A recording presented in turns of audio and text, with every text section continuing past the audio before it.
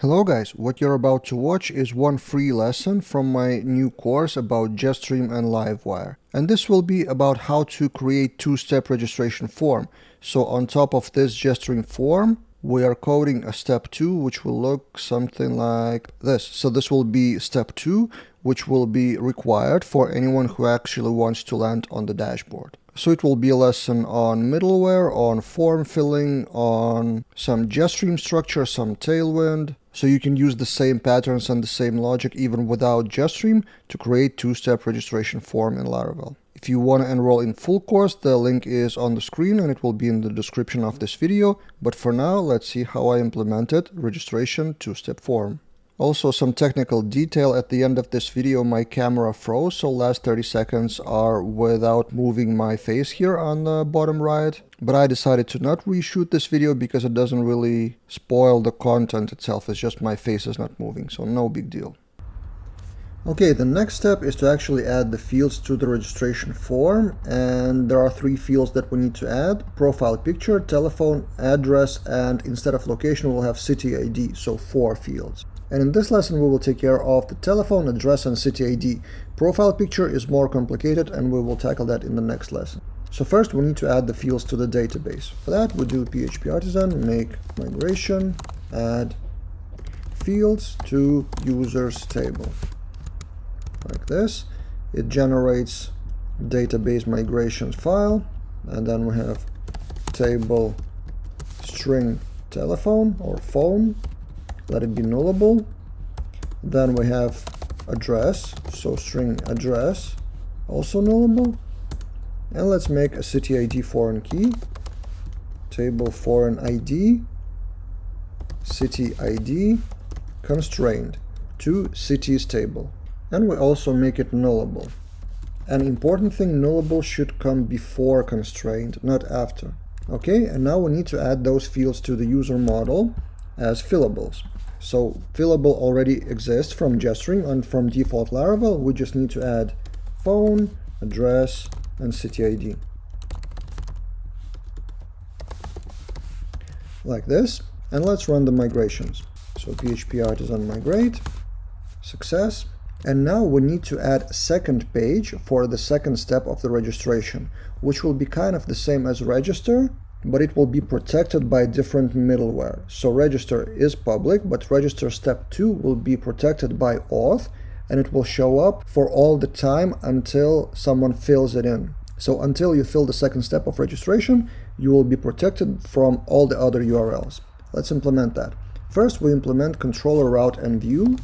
So PHP artisan make controller, for example, register step 2 controller. So register step 2 controller will have two methods, public function create and public function store.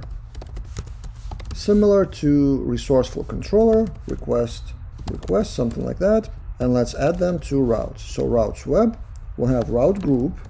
We have new route group for protecting all the URLs which are under auth. So middleware auth and then inside we have a function, callback function, and here we list all the URLs which will not be public. So route get register step 2, for example, let's call it, and then we'll have controller and the method, so register step 2 controller class, and method will be create Let's make it like this and let's close the sidebar so it will be visible.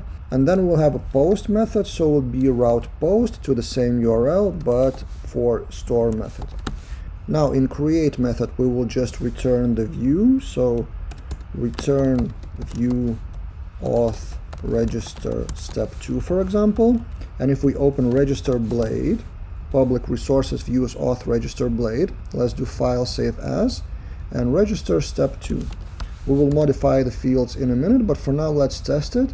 So let's modify name 2 and let's launch that URL. It should fail because I haven't registered yet. So for public it should be forbidden, so it redirects to login correctly. But if I do register, fill in the fields with fake filler, I register, and then I can go to register step 2, which will show our form for name 2. So that's great step. Now let's modify that register step 2 blade and leave only the ones that we need. Route will be different, register step 2, and let's have a name here for that post. So name register step 2 post probably, and then name here will be route register step 2, something like that or probably this will be more accurate. So dot create and dot post like that. Okay and what fields do we need? We need phone address and city id right? So phone and I will copy and paste and do some magic some copy pasting here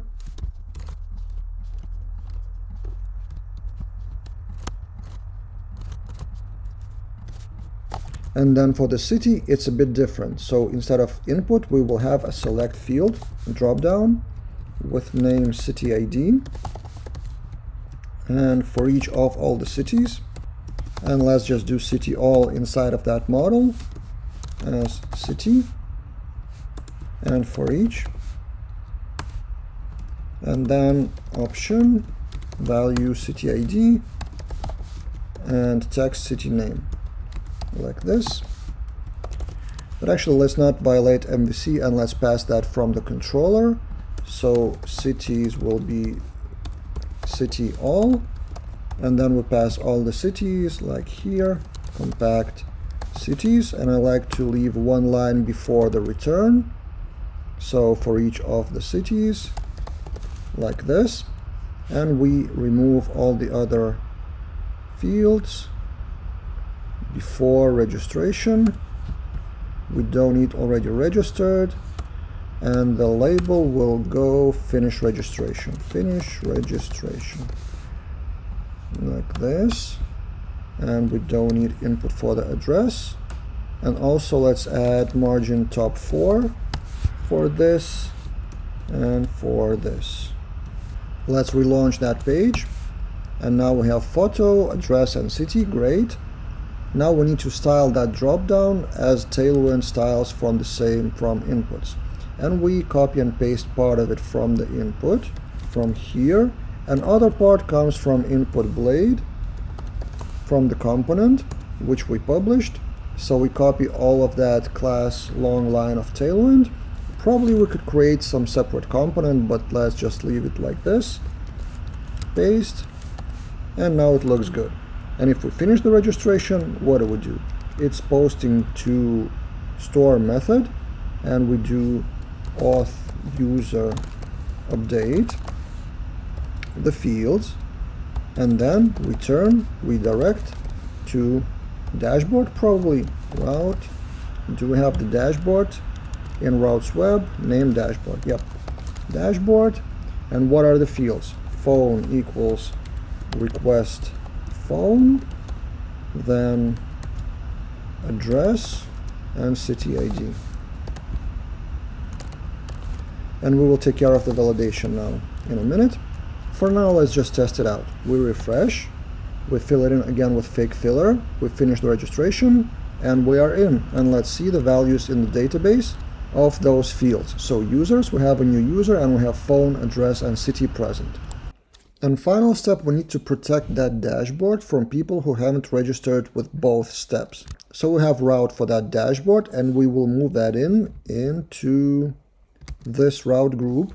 And we don't use sanctum, so we will remove that sanctum. And probably we will add that verified to this.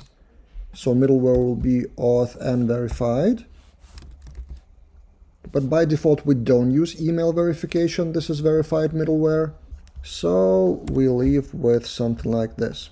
So both dashboard and register second step is protected by auth and verified. Now this will be accessible only after registration is done. So we will add another route group. So route group middleware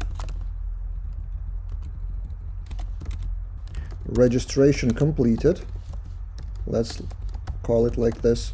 So that will be the name of our middleware and then callback function and then all the routes for our inner application we will get into here. And what is that registration completed? We will generate it now. PHP artisan make middleware check registration completed middleware I like the suffixes for all the files and that check registration completed middleware will check if auth user field of phone is null. So if the phone is null and then also and address is null and city ID address and city ID like this probably let's make it separate lines then we return redirect back redirect to register step 2 or actually route. Route name register step 2 create. Like this then in the kernel file app http kernel we need to register that middleware. So at the bottom there should be let's copy the name. So registration completed. This will be the name and we will assign that to check register completed middleware class. And it's automatically at the top like this. And let's try to relaunch our dashboard and it should succeed. But if I register as a new user let's try it out. Registration. I complete one step. I land on step 2 and I try to go to dashboard. It will redirect me back to register step 2 and that is exactly what we wanted in this case. So until I fill in the phone address and the location, I cannot log in fully to the dashboard.